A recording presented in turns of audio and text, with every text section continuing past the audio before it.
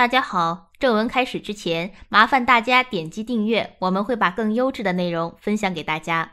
中美贸易谈判进程在刚过去的二十四小时内发生了重要进展。首先，路透社、彭博及《华尔街日报》等媒体于美东时间十二月十二日报道了五个重要消息：一、美国已同意推延原定十二月十五日对价值一千六百亿美元中国商品加征的关税；二、两国也已经同意按回弹条款回撤过去一年多以来加征的部分关税。三、中国同意在二零二零年购买五百亿美元农产品。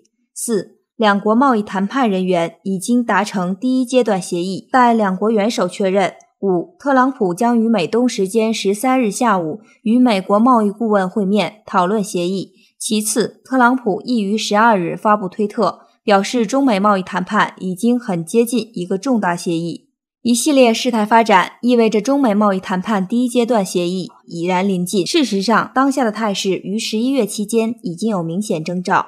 中美经贸高级别磋商，中方牵头人刘鹤与美方牵头人莱特希泽及努钦在十一月期间三度通话。相较于美方含糊且多变的措辞，中国官方通稿向来措辞严谨，而这当中的措辞差异已经清晰地透露出谈判较为可期的进展。十一月二日，双方就妥善解决各自核心关切进行了认真、建设性的讨论，并取得了原则共识。双方讨论了下一步磋商安排。十一月十六日。双方围绕第一阶段协议的各自核心关切进行了建设性的讨论，并将继续保持密切交流。十一月二十六日，双方就解决好相关问题取得共识，同意就第一阶段协议磋商的剩余事项保持沟通。从取得原则性共识到围绕各自核心关切进行建设性讨论，再到就解决相关问题取得共识，可以看到，两国就第一阶段贸易协议的工作已经进行到最后阶段。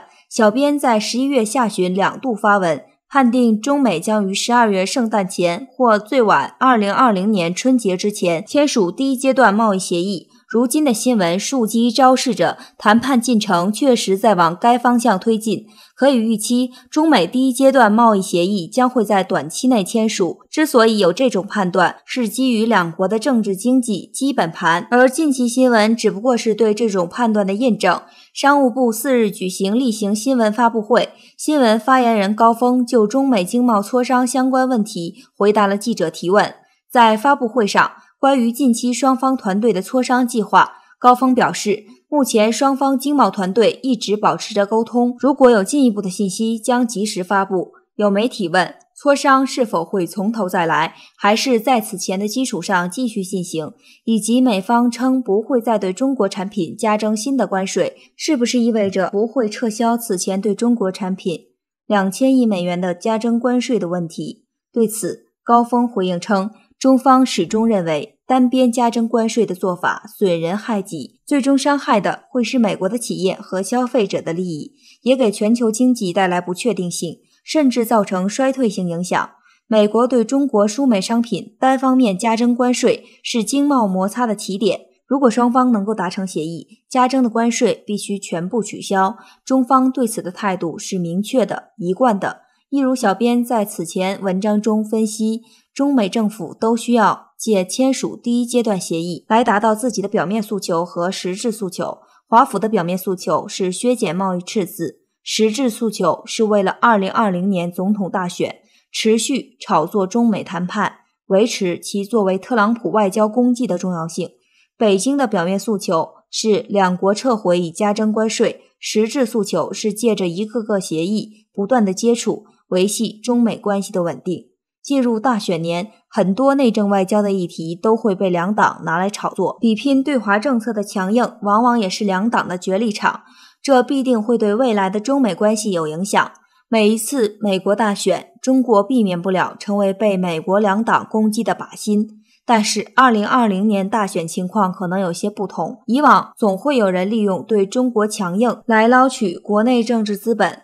但当下特朗普对中国已经足够强硬，而民主党的候选人之一拜登也已经公开表态要与中国建设好关系，所以比谁对中国更强硬的戏码，可能在本次大选中不会上演。至于特朗普本人，他更关注贸易问题，不会在制度。和意识形态层面攻击中国。在选举中，特朗普重点会重点提到他对于选举承诺的实现，其中就有对中国商品加征百分之二十五的关税，以及将中国列为汇率操纵国。这些无需实际效用多大，都会成为他吹嘘的资本。特朗普与彭斯不同，即便打中国牌，也会局限在经济层面；但如果是彭斯的话，可能会上升到制度层面。所以，小编认为。二零二零年美国大选，中国牌会依旧打出，但不会太触及底线。此外，两国同时也都需要在来年经济预期不佳的情况下，于重要节日来临前提振各自市场的信心，这是一个真切无比的考量。美国方面，各界对美国二零二零年经济表现普遍看衰。此时，中美贸易战倘若持续恶化，无疑是一个重要的负面因素。两国各行各业的持份者都需要一些利好消息。民情对经济的信心不仅是一个经济挑战，也是一个政治挑战。应该说，美国政府原定于十二月十五日向中国商品加征的关税，从一个月前开始就已经不可能落实。至于中国购买多少美国农产品，虽然对特朗普而言很重要，却一直并非难事。中国是愿意买的。问题反而在于美国有多少货可以卖而已。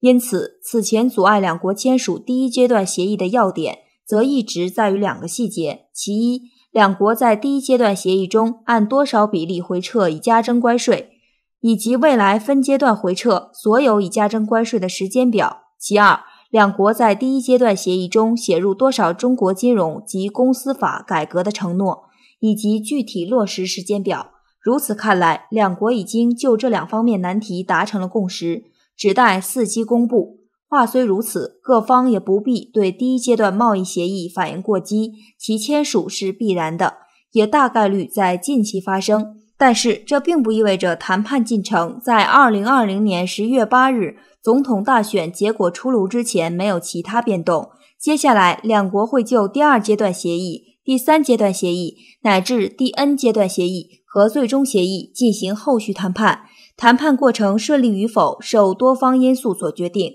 且不确定因素将主要来自于美国政治，包括特朗普的竞选压力、媒体舆论质疑特朗普未能取得最佳成果等等。反观中国，则会在符合经济改革需求及国家主权的基础上，继续以谈大门敞开、打随时奉陪的态度与美方保持积极交涉。所以，人们一方面不必看衰现阶段中美贸易谈判第一阶段协议即将签署，这是基于两国政府的多重必要考量；另一方面，也应对二零二零年中美经贸谈判保持平常心，正确认识其本质。本质上，这不是一场经贸谈判，而是一场对两国政府能否理性管控两国关系的考验。联合国秘书长古特雷斯在九月份的演讲中表达了这样一个担忧：一个真实的风险正出现在地平面上。世界上两个最大经济体制造出两个相互独立、彼此竞争的世界，在中美互信程度越来越降低的情况下，这种担忧成为事实的可能性也越来越大。事实上，美国有这样的打算。至于是否会真实发生，还要看未来的发展。至少，特朗普和他身边人，如莱特希泽、纳瓦罗、彭斯以及蓬佩奥，在内都或多或少展露了这样的想法。彭斯和蓬佩奥在一些演讲中都鼓动盟友建立一个将中国排除在外的全球化体系，甚至不仅仅局限于贸易领域。中美围绕 5G 的竞争就是一个鲜明的例子。特朗普有这样的想法，至于能否实现，就不得而知了。去年签署的美墨加三国协议，其中一条，若三国中有一国与某个非市场经济国家签署自贸协定，则其他协议伙伴有权在六个月内退出协议。很显然，就是针对中国设立的毒丸条款。美国在与日本的第一期谈判中，并没有加入相关条款。很难预料是否会在下一期中加入。如果美国迫使其他国家接受的话，小编认为其实并不难做到。应对世界两极化，采取何种策略？对于中国而言，最简单的办法是深化与美国伙伴国家的贸易关系，扩大共同经贸利益，对抗脱钩，这是最简单粗暴的办法。今天的节目就到这里。喜欢的朋友别忘记点赞、分享、订阅，你们动动手指，对我可是意义重大。就这样，我们下期见。